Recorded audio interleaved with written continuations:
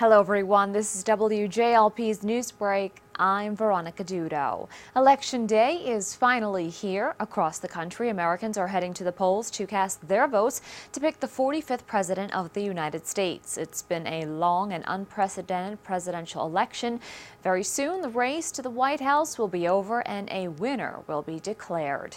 The top of the ticket for the Republicans and Democrats also voted today. The candidates joined the nearly 90 million fellow Americans who are expected to vote today, in addition to more than 46 million million who voted early or by absentee ballot.